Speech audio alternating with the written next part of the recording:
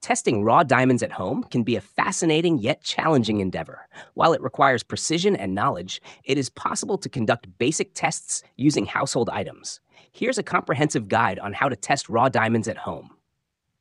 1. Visual inspection. Begin by closely examining the diamond under bright natural light.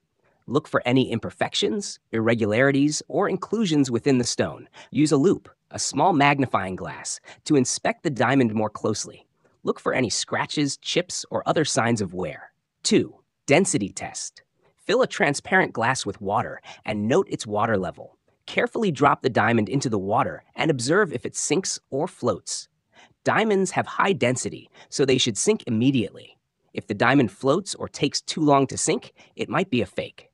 3. Thermal conductivity test. Heat a metal object, such as a paperclip or needle, using a flame until it's red hot. Using tweezers, hold the diamond against the heated metal for about 30 to 60 seconds. Immediately place the diamond on a piece of paper or fabric. If the diamond is genuine, it will disperse the heat rapidly and fog up the surface. Fake diamonds will not conduct heat as effectively. 4. Fog test. Breathe hot air onto the surface of the diamond, creating a layer of condensation. If the fog dissipates quickly, it indicates a real diamond due to its high thermal conductivity.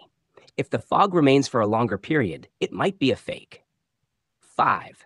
UV light test. Expose the diamond to ultraviolet UV light. Genuine diamonds typically emit blue fluorescence under UV light. If the diamond shows little to no fluorescence, it might be synthetic or fake. 6. Scratch test, optional for experienced individuals only. Use caution when performing this test, as it can damage the diamond if done improperly. Use a diamond scratch pen or another diamond to scratch the surface of the stone. If the diamond leaves a scratch, it is likely a genuine diamond, as diamonds are the hardest natural substance and can only be scratched by other diamonds. 7. Professional verification. While these home tests can provide some insights, they are not foolproof. For a definitive assessment, consider consulting a professional gemologist or taking the diamond to a reputable jeweler for verification. 8. Final thoughts. Testing raw diamonds at home can be a fun experiment, but it's essential to exercise caution and understand the limitations of these tests. For valuable or sentimental diamonds, it's always best to seek professional verification to ensure accuracy and authenticity. In conclusion, testing raw diamonds at home requires careful observation, basic household items, and knowledge of diamond properties. While these tests can provide initial insights, they should be supplemented with professional verification for accurate results.